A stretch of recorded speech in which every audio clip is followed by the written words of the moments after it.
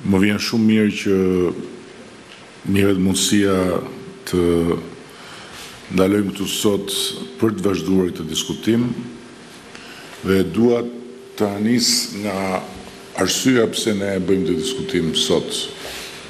Nuk është një diskutim që e kemi bërë më parë dhe ju e dini shumë mirë, sepse jeni posaçërisht të vëmendshëm ndaj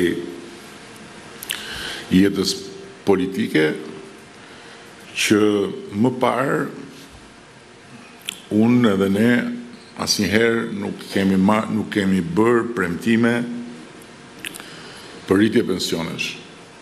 Kemi thënë vetëm që qëllimi ynë kryesor është të rrisim pensionet, por është edhe qëllimi më i vështirë për t'u arritur, sepse, Mundësitë e ekonomisë kanë qenë shumë të kufizuara.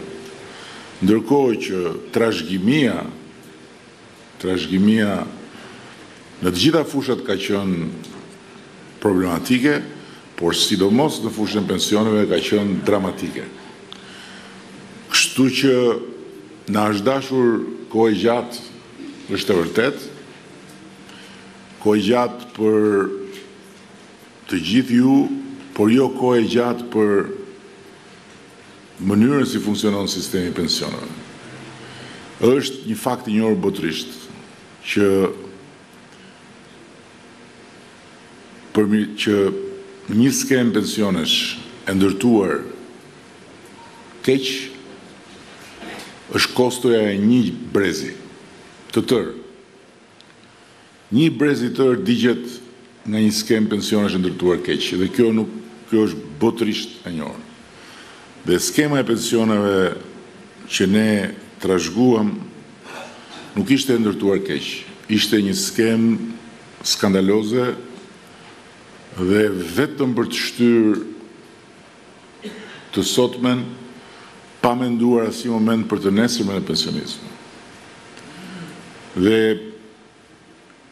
jam i bindur që ju e mbani mend që kur ne morëm detyrën,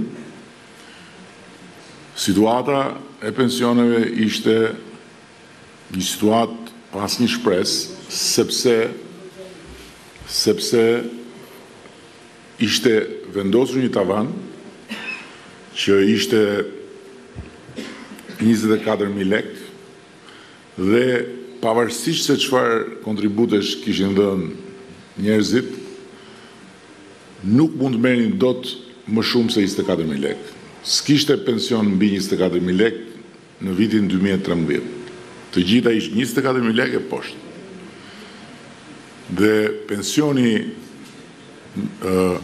mesatar në atë kohë ishte njëqind e pesë euro. Pa folur fare pastaj për minimalin që ishte një pension që nuk e merrnin të gjithë pasi Ne gjetëm dhjetëra mijëra pensionistë pa pension fare. Zero. Për arsye se nuk kishin kontribuar në skemë asnjë vit, përgjithësisht gra shtëpiake apo edhe apo edhe burra që s'kishin dhënë asnjë kontribut. Pra nuk merrnin asnjë pension fare. S'kishte asnjë lek. Ne bëmë reformën e cila ka bërë që tavani i atëhershëm prej njëzet e katër mijë lekësh të zhbëhet dhe sot ne të kemi të të kemi një numër pensionistësh që marrin pensione edhe treqind, edhe treqind e pesëdhjetë dhe katërqind mijë lekë. për shkak të kontributeve që kanë dhënë. Por nga ana tjetër kemi një pasqyrë diferencimi midis mësuesve për shembull që kanë dalë në pension përpara dy mijë e katërmbëdhjetës dhe mësuesve që kanë dalë mbas dy mijë e katërmbëdhjetës. Dhe për shkak të reformës ata që kanë dalë mbas dy mijë e katërmbëdhjetës kanë pension më të lartë sesa ata që kanë dalë përpara dy mijë e katërmbëdhjetës. Dhe kjo është e gjitha ajo që thashë, sepse ne mund të mund të shprehim dëshira, ne mund të flasim për ë sa shumë e nevojshme është kjo, por ama me faktet nuk luftojmë dot. Faktet janë fakte. Dhe këtu në vendin tonë në mexhlisin ku bëhen debatet ka shpërthyer një luftë me faktet nga të katër anët dhe çdo lloj opinioni dhe çdo lloj gënjeshtre paraqitet si fakt. Po në fakt faktet nuk janë opinione. Dhe Prandaj thuhet që një skemë pensionesh është fatura e një gjenerate, për mirë ose për keq.